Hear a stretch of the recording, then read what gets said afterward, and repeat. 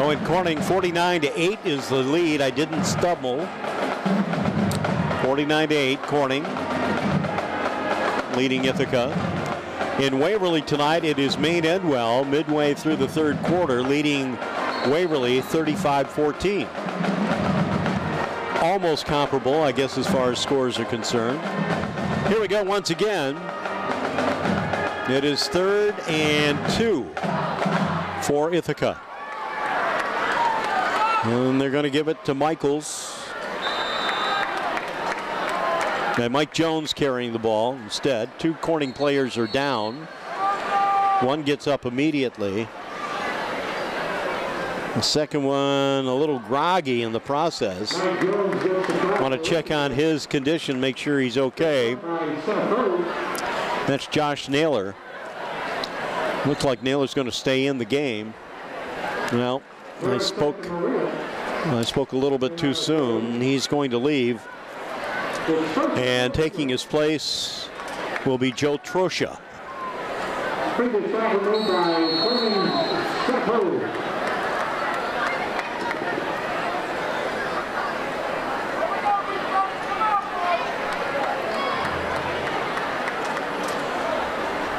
Well, it was a first down carry, so first and 10 now. Ball rolls on the surface. Booth picking it up. Now he'll run with the ball. And that broken play actually produced about a five yard gain, maybe a six yard gain.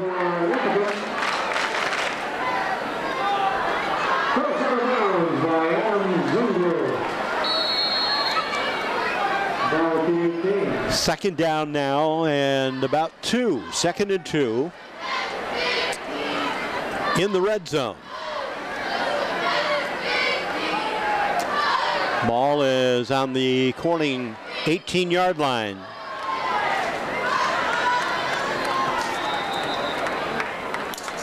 On the sideline, Kelly Gordon calling one of his players over. Well, I guess he's going to call the the entire team over. So they will have a, a timeout and a, a discussion out there. Benchmark Audio reminds you cold days are approaching. So don't forget Benchmark Audio for your vehicle remote starters. Choice Auto Glass is your it's your vehicle, it's your choice at choiceautoglass.com. Sponsoring tonight's ball game. And Appliance Services Unlimited. You have a major problem with your oven, your refrigerator, your dryer, or your washer, call the crew at ASU Appliance Services Unlimited. And a broadcast on Big Fox TV brought to you in part by Simmons Rockwell Ford. Now with more than 400 new Ford models in stock. Shop the savings online at simmons-rockwell.com.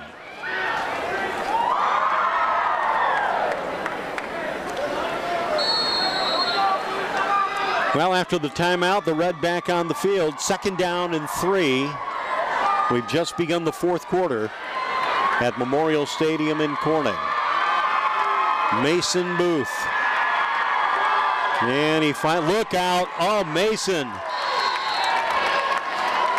Sacked by no less than two men from Corning. Leading the way, Kyle Jankowski. KJ, his name has been called multiple times tonight. And Mike DiNardo. The sack brings the ball back to the 27 yard line.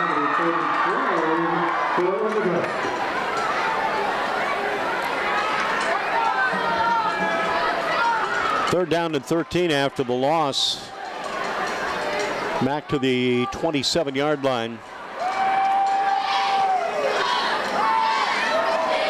Long throw in the end zone and picked off.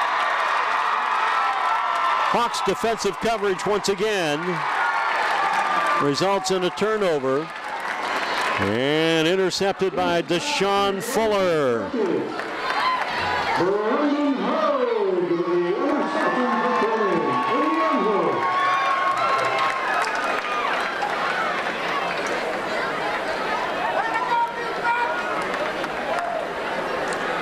Well, that was Now they tell me it was Brendan Hogue and not Fuller.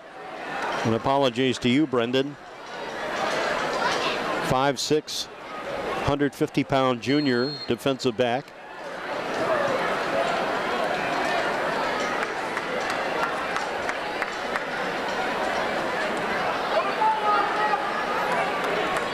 Josh Naylor comes to the sideline and will get some attention.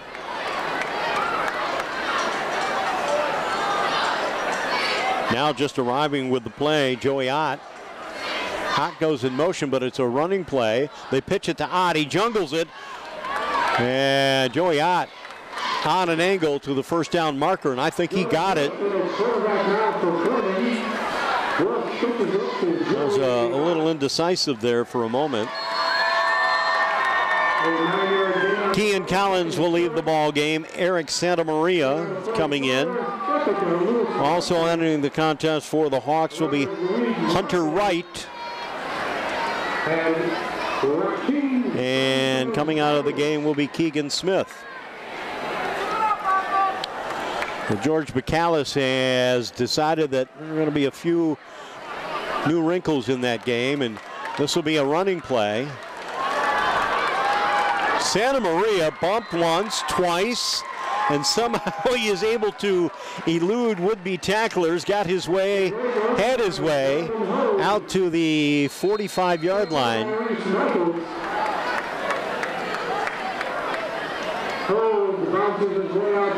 Somehow I'm uh, not picking up that number again. Brendan Hogue on the carry.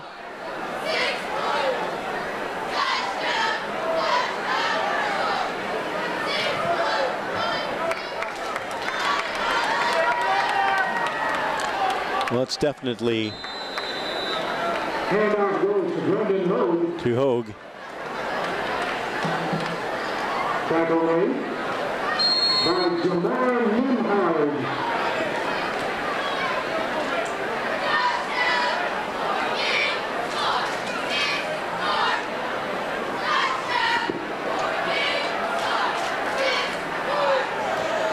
Nine and the eight are very similar there in terms of looking at them, but um, yes, it definitely is Hogue.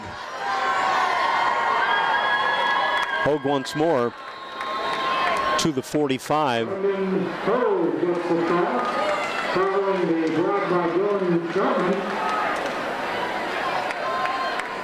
Now at the 46-yard line, And now Hogue will exit the game. Michael Little over eight minutes remaining. Corning leading 49 to 8. The only Ithaca score occurring late in the first quarter. This is a busted play that really goes nowhere. And getting tripped up was uh, Andrew Bellio. Tackle by Reese Michaels. And Dante Shalou. Second down, Anthem. Again, Hawks are set. And the running play right now, Joey Ott. Ott continuing to run, spun around and pushed out of bounds. Picking up a nice block by Mike. Lewis Webster out out of bounds.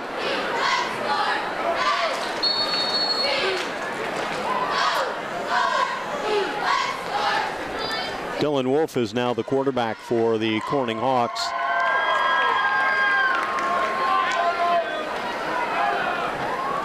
First and 10 at the 34-yard line.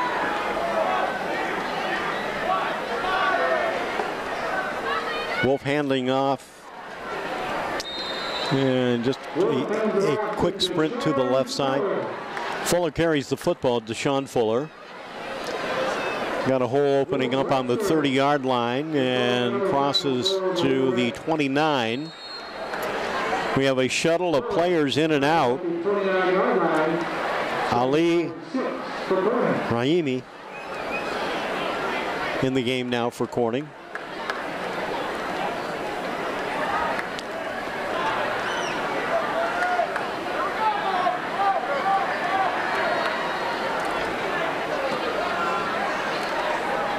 Keeping it very simple. Deshaun Fuller. And maybe a yard if he's even fortunate out there.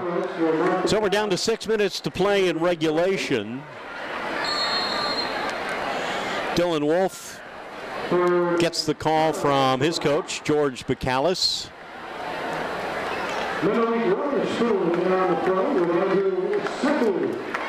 And Tom.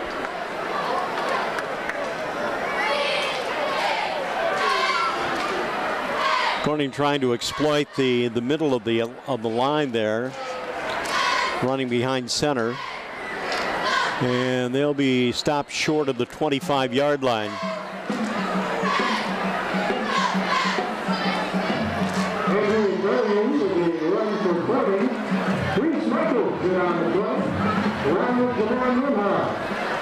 Fourth and two for Corning.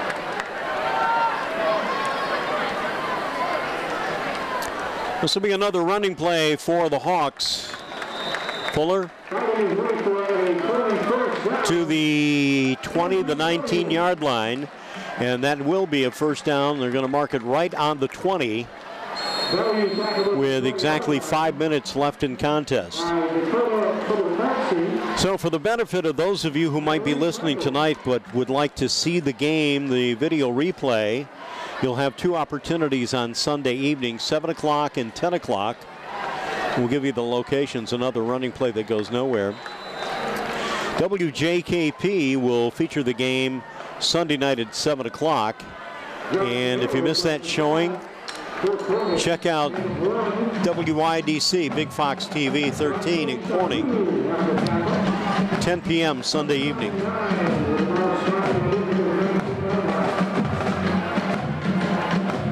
So we have second down and nine at the 19 yard line of Ithaca.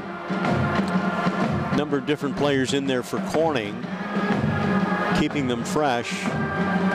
And this will be simple bread and butter play where you just hand off to Fuller again, and he just runs it through the front door. The opposite side of the 15-yard line. It's third and.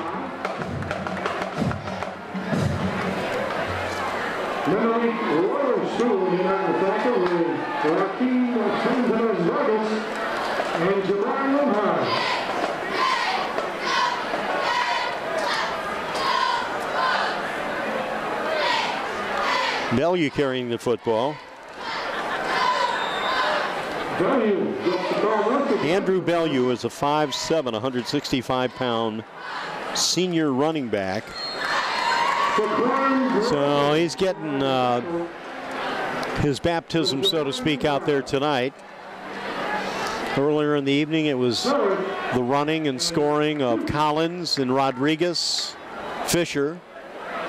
Fisher had to leave after what appeared to be a leg cramp, and so his evening ended a short time ago.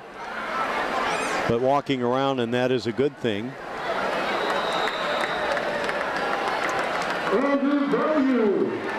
Bellew another carry, so he'll add up uh, some yardage before the night is out.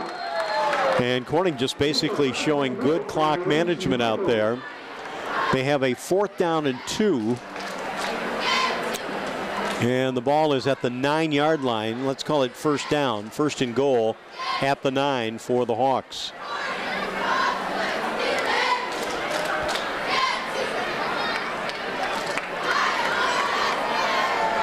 Wolf will pitch to Fuller. Fuller to the five, the four, the three.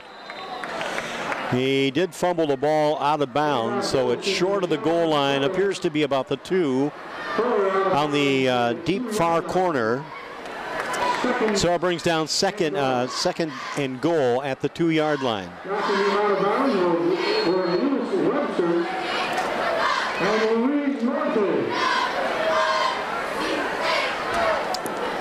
Dylan Wolf spelling Brett Van Wart late in the ball game. Wolfie in there right now. and trying to help add to the, the cause for the Corning Hawks. Checks out the play clock as it continues to run down. The snap, the give, and forward for what looks to be a touchdown. Yes.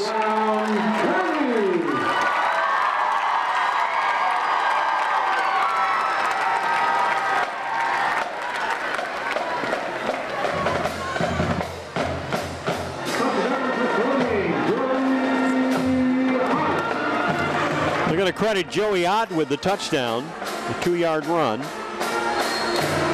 with a minute 41 to go.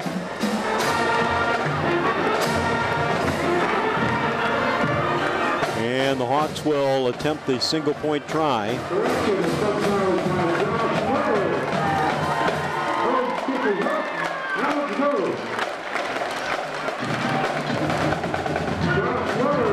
And the extra point attempt is good.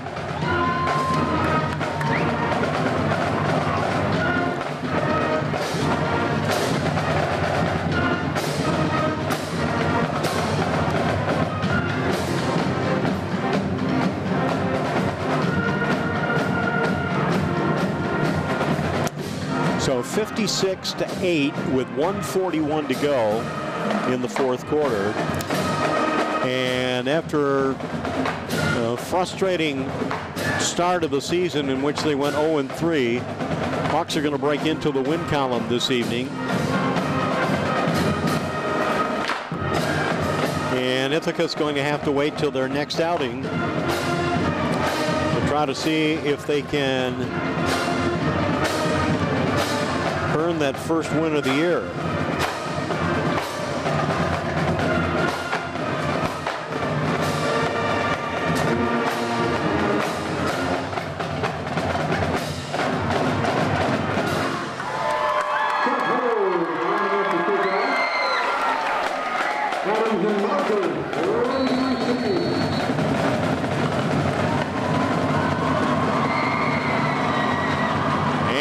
Kickoff by Hogue.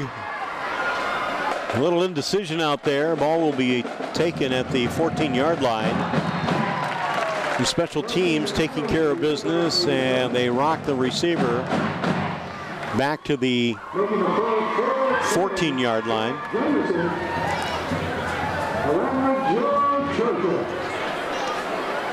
Trosha in on the the tackle. And so we'll have a minute 36 left for Ithaca. See if they can pull anything out here late in this contest.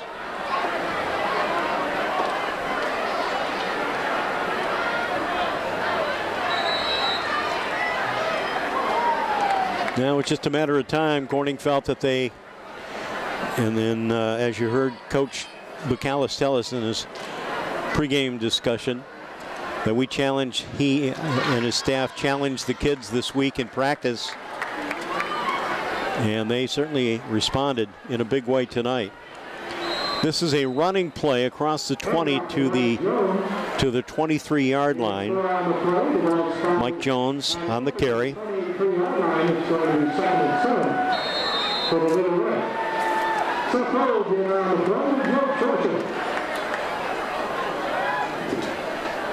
So Ithaca just primarily are just going to go with the clock management. They'll check the play clock, which is down to nine seconds. Six, five, four, and the snap, low snap. And a running play once more for Mike Jones to carry the football. And we're under a minute to go in the contest. Hogue makes the tackle, and he also helps Jones up. So uh, a display of sportsmanship out there. Well, fans, once again, I want to remind you the, the game will be played twice on WJKP at 7 o'clock on Sunday night and Big Fox TV, WYDC, 10 p.m. Sunday evening. David Baker in the WELM studios in Elmira at the helm this evening. I'm Bob Michaels. That's a bad snap, and it's going to roll all the way back, and they'll might want to fall on it before it goes in the end zone, which they do at the two. Nine seconds remaining. There won't be time for another play. This one is going to end right here and right now with the final 56 to 8. This game is definitely a final, and it is the Corning Hawks that will win their first game of the season convincingly over the Ithaca Little Red. I'm Bob Michaels for our entire broadcast crew, radio, TV, and internet saying so long from Corning, New York. And don't forget to join us tomorrow afternoon at Horseheads when the Raiders host Elmira. Good night, everybody.